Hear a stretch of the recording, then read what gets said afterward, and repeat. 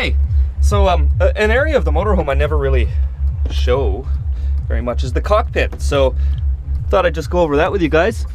I haven't really done too much to it, but um, this is what she looks like. Nice LED lightings. So when you're sitting in driving position, this is good for the makeup. Hey! yes, there's one for the girls too.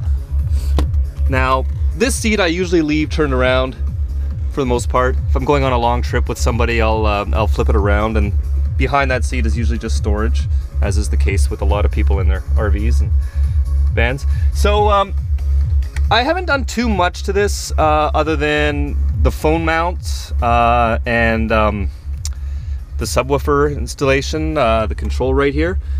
This guy here, I'll just put it. That's pretty much rocking uh, rocking the van right now. The walls are vibrating. I actually keep that down for the most part. Uh, I have all my music Bluetooth usually off my phone. Sometimes I stream internet radio, uh, but for the most part it's just off the phone. The phone also is connected to the stereo. It's pretty common these days, even with a cheap cheap deck, like even a hundred and fifty dollar or hundred, even I've even seen them on sale for about a hundred bucks. A cheap CD deck has Bluetooth calling uh, built in these days. So that would be this guy right here. That's the microphone for calling. So uh, when a call comes in, uh, it just goes through the through the speakers, and you just keep on driving. You don't really have to uh, you don't really have to do anything except press answer on the screen. Oh, look at that! Antler van. Tis the season. Uh, the dash, okay, so I've also put this in here. You can see that it's um, got a, a, nice brushed aluminum custom cover over the uh, over the gauges. That I found on eBay. I just went, um, I was just doing searching for accessories to spruce up the interior a little bit. I was looking at all sorts of dash kits. I was thinking of doing it in the wood grain and all that, but I decided no, I'm not going to bother. Nothing in this motorhome is really wood grain. Everything is white cabinetry, black carpet, you know, it's all a little bit more modern looking. So I decided not to, not to do the wood grain. But I found these for 20 bucks off eBay, and you know they make them for all sorts of vehicles. And sure enough, they make them for the Ram vans. Um, they're all like laser cut. They're not a perfect fit like my odometer over here on the left the odometer doesn't quite fit in, but apparently the next year of the Dodge Ram vans after this year, 1999, they moved that odometer up just a little bit. So that's, I guess, what it was cut for. But other than that, there's really no differences. From uh, 1998 to 2003, they had the same dash for the most part. Uh, over here, Explorer put in this. This is actually power for the stereo.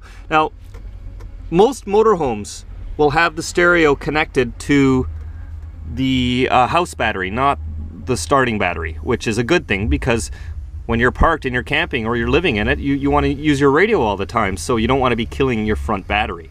Now, I have seen a couple that didn't have that, and I bought one once that did not have it hooked up like that. So that was one of the first things I did was I disconnected the stereo from the front battery and ran a wire from the back battery so that it's it's always on. Literally, it's always on.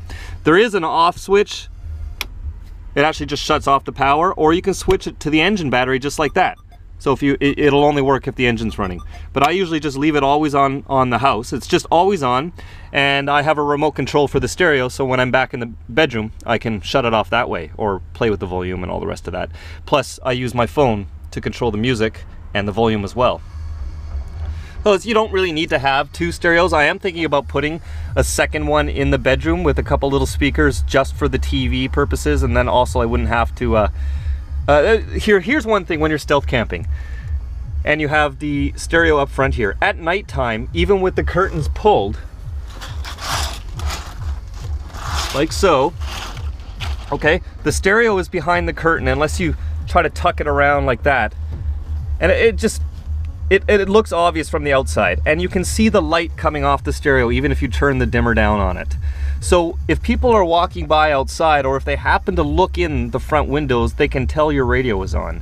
And that's something that bothers me. If you're, if you're trying to stealth camp, you don't want that to be showing. Quite often I, I sleep all night with the radio on low. And um, so you'll see that little glowing coming from the dashboard, which is kind of probably not a good thing depending on where you're gonna be parking. Uh, so I might put a second radio in the back just because they're they're so cheap, and uh, then it will uh, it will just be running off a couple speakers in the back. It won't be connected to the subwoofer or anything like that. Um, Yeah, curtains are great. That's how Explorer made these. They had these little things to throw the curtains up on each side. Sometimes I use them, sometimes I just tie them up on the wall. Uh, the other thing I bought is these, the good old window visors. Um, where are my keys? Oh, I keep doing that.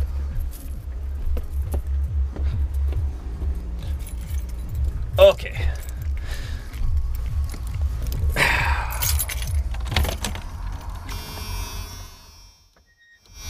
There. Okay, so I usually leave the windows right about there, and even when it's raining, even when it's pouring rain out, uh, you have good ventilation, and uh, none of the rain gets in. These, of course, you see quite common on a lot of newer vehicles, and for vans, uh, they're available. Just look, just search online for window visors, and then put in the model of uh, van you have, and you'll find them. Uh, they have some that stick on, like these ones. They're just stuck on with um, uh, that 3M. Um, basically, it's that 3M butyl tape, and they've been on there since about July. But I found some really expensive ones. These were only like 20 bucks. Again, clearance off some eBay site. A lot of stuff for these Ram vans are, are just discontinued and the warehouses are just trying to get rid of the stock because they don't make it anymore. So you can find some good deals on eBay. But I also found some other ones. They're sitting in the back right now in case these ones ever fall off or break or anything like that. Uh, that actually fit into the track. They're permanent installation. They don't just stick on on the outside. So they're, they're a lot better quality. So I've got backups if these ones ever go, but you can see what it looks like there, right? Now the other advantage is you can leave the windows down a touch and nobody can tell the windows are down as they walk by outside. So it's, it's, it's actually a really good thing. Worth every penny though, especially if you're driving too and, on a rainy day like this and uh, you want ventilation. Uh, they make a huge difference. I think all cars should have those, honestly. Power mirrors, door locks, power windows. These are towing mirror extensions. Um, the Dodge Ram van mirrors are the same as the Dodge Ram pickup trucks and the Dodge Durangos had uh, from this era, 1998 to 2003. So basically any accessories for mirrors for the trucks or, or um, Durangos will fit on here. And that's one thing you're gonna notice if you have a Ram van is that you're probably not gonna find much if you, if you search Ram van because they didn't make much uh, aftermarket stuff for these things. Uh, again, unless you're lucky and you find something like, like this. But for a lot of things like that, you have to search Ram pickup or you have to search Durango to find the accessories. And um, and then you'll be able to find stuff that works. So those just clip on. They're for towing, but this is a wide body, and I they actually help me a lot. Uh, I can see kind of around the back. You see the side of my vans tapers out. It widens out in the middle and then goes around the back. So I can actually see around the back of my vehicle. Sometimes there's small cars behind me, and uh, if I didn't have those, I wouldn't actually know that they're behind me. Uh, so they make a difference. Also, it keeps people a little bit farther away from me, especially those pesky cyclists. They see my mirrors and they got a duck or they lose their head, basically. it just, uh, it, it just, I don't know. I like the extra. If, if, they get hit, so what? They're just plastic, right? And they're breakaway mirrors too, so the whole mirror can slide out, slide back in. I have had this one hit a couple of times, parked on the on the side of the road, uh, but they just bend out, and then you just bend it back. Uh, sometimes I'll, I'll pull it in if I'm on a narrow street. Uh, now, outside of the cockpit is the bug deflector. Again, really hard to find except for some leftover stock. Um, but that protects your hood from dings and bugs and all sorts of stuff. And it looks cool too. The front grille, dead stock. Oh, look at that poor bug in there. These are from Lund. You quite often see these on pickup trucks. Well, I happened to find them for Ram Van, and again, they were discontinued. And I got a hell of a deal on them. eBay adds a little style to the front and it protects your radiator from bugs a little more. And no, it doesn't overheat in the summer, by the way. It's it's totally fine. Most of the airflow uh, to these vehicles comes from the two holes under the bumper um, and a bit through the grill as well. So there was no problem with air restriction or anything like that. I did a lot of summer driving and 40 degree weather. It was really hot. So that is the dash cam. Uh, I'm not really using it, but it works. I just have a piece of Velcro stuck on there so I can put the GoPro on there and do videos. Hey, what's up? Uh, this is where the rear view mirror would be if you didn't have a motorhome. Uh, there is the stripper, the Palm Bay Hula Girl. and all the cool vans. Look at that. Area 51 vans, Scooby-Doo van. you know I love my vans.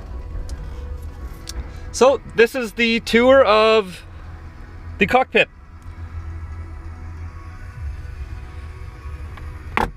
Hope you guys liked. Talk to you soon. Keep on rocking in the free world.